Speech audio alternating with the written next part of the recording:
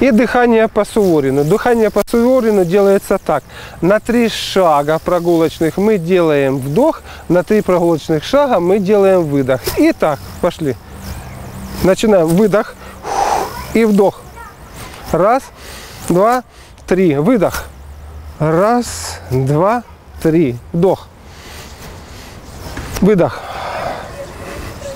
Дыхание по Суворину. На три шага прогулочных мы делаем вдох, на три шага мы делаем выдох. То есть такое ритмичное дыхание очень помогает в выздоровлении. Начинаем с выдоха. Выдохнули и вдох. Выдох. Вдох. Выдох. Вдох. Выдох. Вдох. Выдох. Вдох. Выдох. Вдох. Выдох. Вдох. Выдох.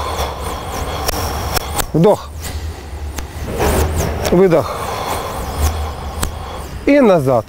А сейчас мы сделаем с вами дыхание на 5 шагов. На 5 шагов вдох и на 5 шагов выдох, то есть для более продвинутых. И начали. Выдох.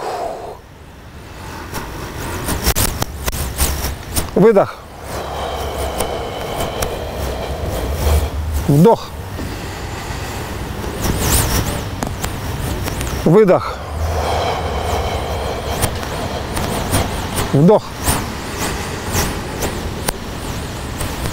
Выдох. Вдох. Выдох.